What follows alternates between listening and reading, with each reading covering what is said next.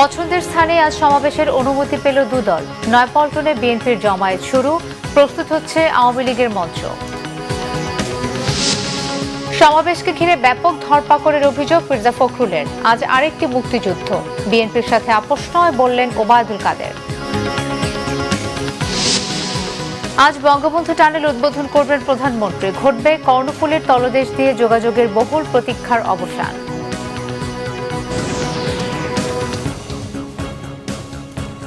দেখছিলেন সংবাদ শিরোনাম, এবারে বিস্তারিত। বিএনপি ও আওয়ামী লীগকে তাদের পছন্দের জায়গাতে সমাবেশের অনুমতি দিয়েছে ডিএমপি। বৃষ্টির শর্তে আজ দুপুর দুইটায় জাতীয় মসজিদ বায়তুল মোকারমের দক্ষিণ গেটে সমাবেশ করবে আওয়ামী লীগ।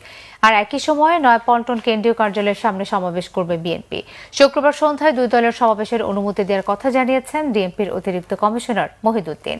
তবে জামায়াত ইসলামীকে কোনোভাবেই সমাবেশ করতে দেওয়া হবে না, কঠোর সিদ্ধান্ত পুলিশের। বিস্তারিত ফরুক বাবুর রিপোর্টে। নানা নাটকীয়তার মধ্য দিয়ে আঠাশ অক্টোবর দেশের বড় দুই রাজনৈতিক দল বিএনপি ও আওয়ামী লীগকে সমাবেশের অনুমতি দিয়েছে পুলিশ। পাল্টাপাল্টি রাজনৈতিক কর্মসূচির নিরাপত্তা ও নগরবাসীর যাতায়াত সুবিধার কথা বিবেচনা নিয়ে শুক্রবার বিকেলে মহানগরীর সকল থানার ওসি ও ঊর্ধ্বতন কর্মকর্তাদের নিয়ে বৈঠক করেন ডিএমপি কমিশনার। বৈঠক শেষ হয় সন্ধ্যা ছয়টায়। সেগুলো টানা দুই ঘণ্টার বৈঠক শেষে ডিএমপির অতিরিক্ত কমিশনার মোহিত উদ্দিন জানান কোনো ধরনের বিশৃঙ্খলা না করা ও স্বেচ্ছাসেবী নিয়োজিত রাখা সহ বিশটি শর্তে বিএনপি ও আওয়ামী লীগকে সমাবেশ করার অনুমতি দেওয়া হয়েছে। এই অনুষ্ঠানের বাইরে কিন্তু আমাদের সম্মানিত নাগরিকগণ এই মহানগরে থাকেন। তাদের নিরাপত্তা, তাদের সেন্স অফ সিকিউরিটি সব কিছু কিন্তু আমাদের কনসিডারেশনে নিতে হয়। কারণ এটি আমাদের উপর দায়িত্ব। যে বড় দুটি রাজনৈতিক দলের প্রোগ্রামের কথা বলেছেন সেটির ব্যাপারে শর্ত সাপেক্ষে ঢাকা মেট্রোপলিটন পুলিশ ইতিবাচক সিদ্ধান্ত নিয়েছেন। তবে জামায়াতে ইসলামকে কোনোভাবেই সমাবেশ করতে দেওয়া হবে না বলেও জানান তিনি। আমরা যে বৈধ আইনি কাঠামো সেই জায়গাগুলোতে আছি কারণ প্রত্যেকেরই কিন্তু মনে রাখা উচিত যে রাষ্ট্রের যে প্রচলিত আইন, সেটির প্রতি শ্রদ্ধা থাকা উচিত। এবং আমরা আশাও করি যে সকলের সেই শ্রদ্ধা আছে যে এই দায়িত্বশীলতার পরিচয় সবাই দিবে, সেটি আমরা আশা করছি। যাদের অনুমোদন আছে, তারা করবে। অন্য যেগুলো আছে, সেগুলো যদি কেউ কিছু বলে থাকে, আমরা লিগ্যাল ফ্রেমের মধ্যে তাদের বিষয়গুলো দেখব। এদিকে পুলিশের তরফ থেকে বিএনপি ও আওয়ামী লীগের সমাবেশ স্থলে বসানো হয়েছে সিসি ক্যামেরা। নিরাপত্তা বিবেচনায় এই কাজ করা হয়েছে বলে পুলিশের পক্ষ থেকে জানানো হয়।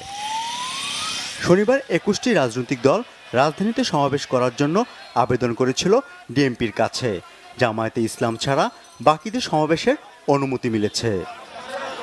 ফররুক বাবু, বাংলা ভিশন, ঢাকা। মহাসমাবেশকে কেন্দ্র করে গেল চার দিনে। এক হাজার ছয়শোরও বেশি নেতাকর্মীকে আটকের অভিযোগ করেছেন বিএনপির সিনিয়র যুগ্ম মহাসচিব রুহুল কবির রিজভী। শুক্রবার রাতে সংবাদ সম্মেলনে এসব কথা জানান তিনি। মহাসমাবেশের আগের দিনই দলের নেতাকর্মীরা নয়াপল্টনের কেন্দ্রীয় কার্যালয়ের সামনে সমবেত হতে থাকেন। শুক্রবার সন্ধ্যার দিকে বাড়তে থাকে নেতাকর্মীদের উপস্থিতি। ঢাকার বাইরে জেলা থেকে অনেকে এসে নয়াপল্টনে অবস্থান করেন। এ সময় তারা বিভিন্ন স্লোগান দেন। বিএনপির কার্যালয়ের উল্টো দিকের রাস্তায় বেশ কিছু রিক্সা থামিয়ে চালকরা ভিড় করলে পুলিশ তাদের সরিয়ে দেয়। সংবাদ সম্মেলনে রুহুল কবির রিজভী বলেন, শুক্রবার সন্ধ্যার পর থেকে আইনশৃঙ্খলা বাহিনীর সদস্যরা আশেপাশের এলাকায় অনেকটা শান্ত আইনের মতো আচরণ করছে।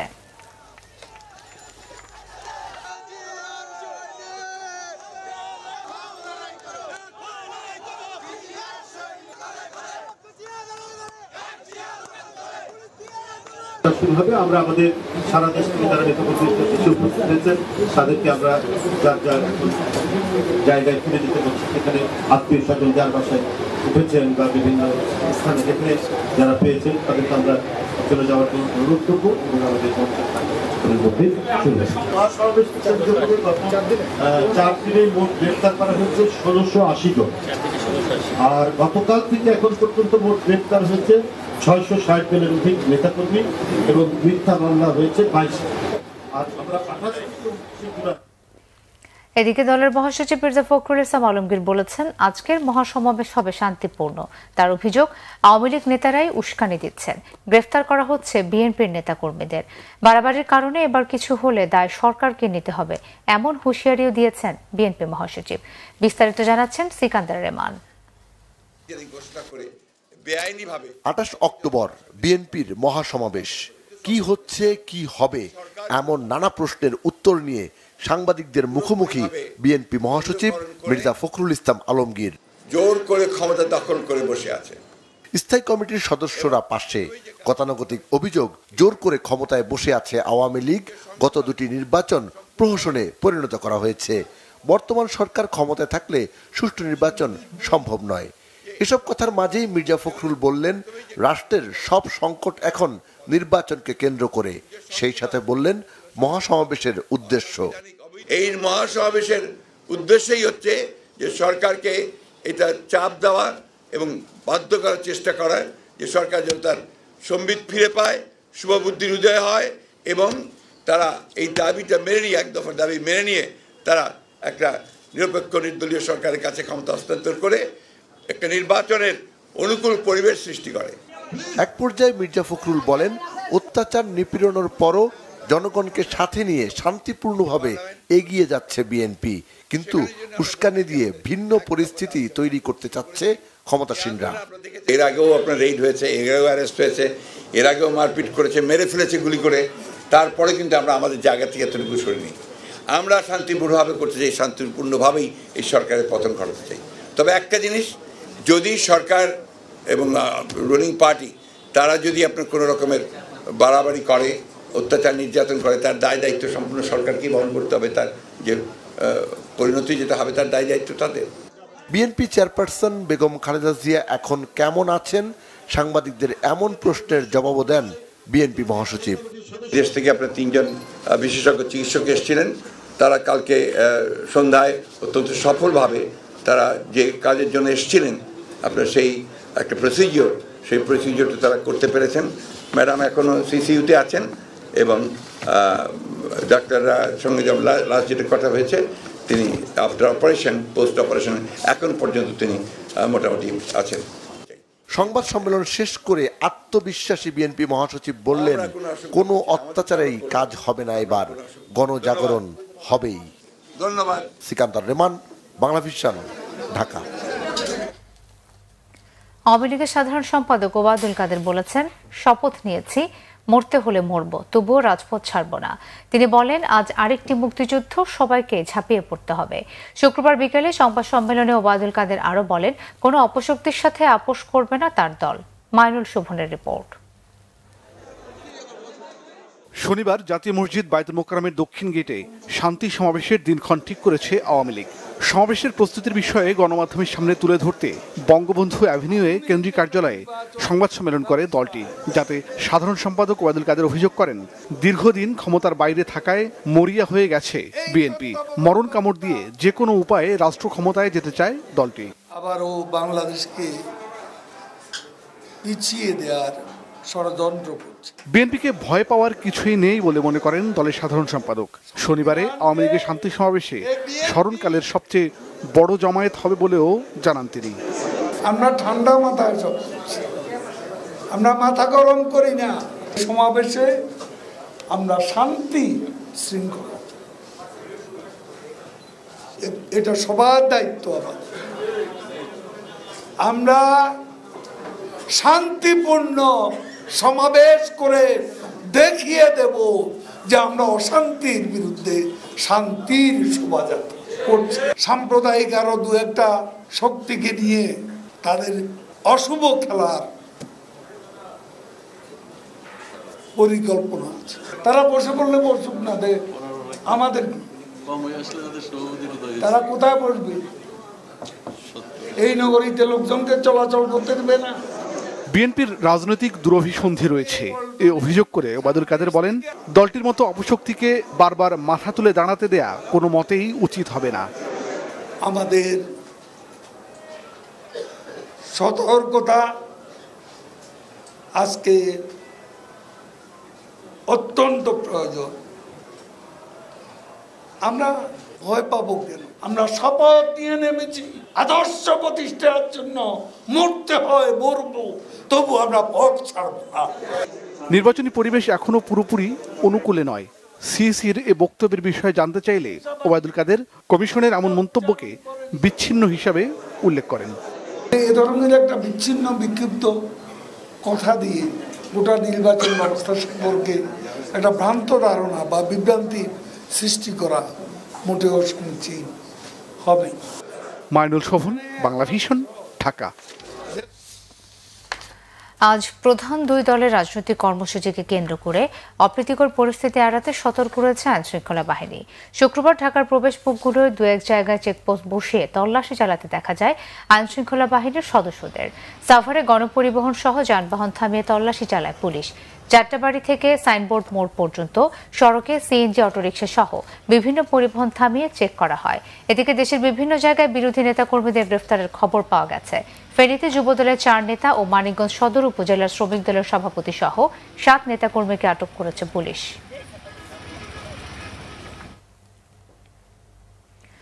বিএনপি চেয়ারপারসন ও সাবেক প্রধানমন্ত্রী বেগম খালেদা জিয়ার শারীরিক অবস্থা পর্যবেক্ষণ করা হচ্ছে বলে জানিয়েছে মার্কিন পররাষ্ট্র দপ্তর। আবারও বলা হয়েছে, বাংলাদেশে অবাধ ও সুষ্ঠু নির্বাচন দেখার বিষয়ে অবিচল যুক্তরাষ্ট্র। বৃহস্পতিবার মার্কিন পররাষ্ট্র দপ্তরের নিয়মিত ব্রিফিংয়ে মুখপাত্র ম্যাথিউ মিলার এসব কথা বলেন। এক প্রশ্নের জবাবে তিনি বলেন, সাবেক প্রধানমন্ত্রী ও বিএনপি নেত্রী খালেদা জিয়ার শারীরিক পরিস্থিতির বিষয়টি পর্যবেক্ষণ করছে যুক্তরাষ্ট্র। বাংলাদেশ সরকার যেন তার জন্য নিরপেক্ষ ও স্বচ্ছ আইনি ব্যবস্থা পাওয়া নিশ্চিত করে। তিনি বলেন আঠাশে অক্টোবর ঢাকায় সরকারি ও বিরোধী দলের পাল্টাপাল্টি সমাবেশে উত্তেজক পরিস্থিতি নিয়েও খবর রাখছে যুক্তরাষ্ট্র।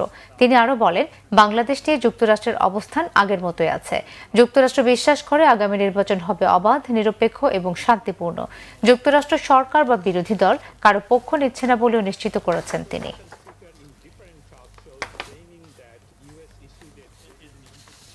বাংলাদেশের ওয়ার্কার্স পার্টি সভাপতি রাশেদ খান মেনন বলেছেন জনগণ নয়। বিএনপি জামাতের একমাত্র ভরসা এখন মার্কিন যুক্তরাষ্ট্র ও তাদের পশ্চিমা মিত্ররা। শুক্রবার শাহবাগে বাংলাদেশ যুব মৈত্র আয়োজিত এক যুব সমাবেশে প্রধান অতিথির বক্তব্যে তিনি এসব কথা বলেন। দুই হাজার ছয় সালের আঠাশে অক্টোবর বিএনপি জামাতের গুলিতে নিহত শহীদ রাসেল আহমেদ খান স্মরণে এই সমাবেশের আয়োজন করা হয়। সমাবেশে রাশিদ খান মেনন বলেন যে, মোসাদ ফিলিস্তিনে মুসলমানদের হত্যা করেছে তাদের পরামর্শে বিএনপি আঠাশে অক্টোবর থেকে সরকার পতনের এক দফা আন্দোলনকে চূড়ান্ত পর্যায়ে নিতে চায়। আঠাশে অক্টোবরের বদলা নিতে বিএনপি জামায় সহ দক্ষিণপন্থী অপশক্তি এই দিনকে বেছে নিয়েছে বলে মন্তব্য করেন মেনন।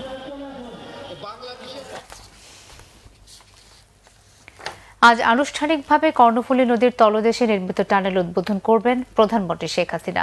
প্রকল্পটি এখনই পুরোপুরি চালু হচ্ছে না, তবে সম্পূর্ণভাবে চালু হলে চট্টগ্রামের যোগাযোগ নেটওয়ার্ক বদলে যাবে। চীনের কারিগরি ও আর্থিক সহায়তায় উপমহাদেশের প্রথম টানেলটি আজ জনগণের হাতে তুলে দেবেন প্রধানমন্ত্রী। তিন দশমিক তিন দুই কিলোমিটার সুড়ঙ্গ পথ পাড়ি দিয়ে কর্ণফুলীর তলদেশ দিয়ে অপর প্রান্তে আনোয়ারার জনসভায় যাবেন তিনি। অবকাঠামোটিকে নিরাপত্তা দেবে বাংলাদেশ নৌবাহিনী। নদীর তলদেশ দেশে চার লেন পার হয়ে পতেঙ্গা থেকে আনোয়ারায় যাওয়া সম্ভব হবে চোখের পলকে। যুগান্তকারী এই প্রকল্পটির মাধ্যমে চীনের সাংহাইয়ের আদলে ওয়ান সিটি টু টাউন হিসেবে যেমন গড়ে উঠবে চট্টগ্রাম, তেমনি পরিবেশ রক্ষা করে গড়ে তোলা এই স্থাপনাটি নতুন দৃষ্টান্ত রাখতে যাচ্ছে আঞ্চলিক যোগাযোগেও।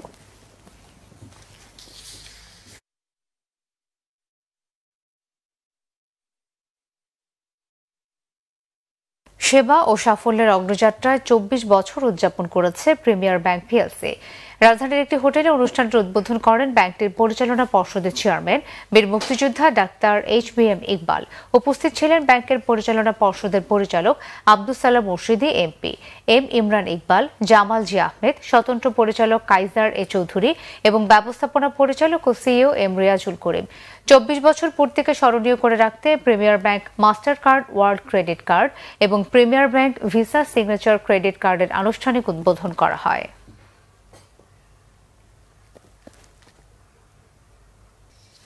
সংবাদ শেষ করব শিরোনামগুলো আরও একবার জানিয়ে। পছন্দের স্থানে আজ সমাবেশের অনুমতি পেল দুদল। নয়পল্টনে বিএনপির জমায়েত শুরু, প্রস্তুত হচ্ছে আওয়ামী লীগের মঞ্চ। সমাবেশকে ঘিরে ব্যাপক ধরপাকড়ের অভিযোগ মির্জা ফখরুলের।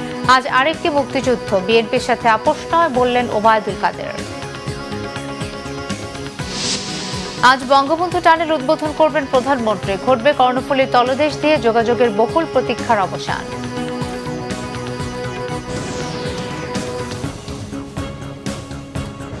এই ছিল এখনকার মতো পরের সংবাদ সকাল সাড়ে সাতটায় দেখার আমন্ত্রণ রইল। এছাড়াও বাংলা ফিশন সংবাদ ও সংবাদ সংশ্লিষ্ট অনুষ্ঠান দেখতে ভিজিট করুন www.bbnews24.com ও facebook.com slash বাংলা ফিশন নিউজে এবং সাবস্ক্রাইব করুন YouTube dot com slash Bangla Vision news ধন্যবাদ।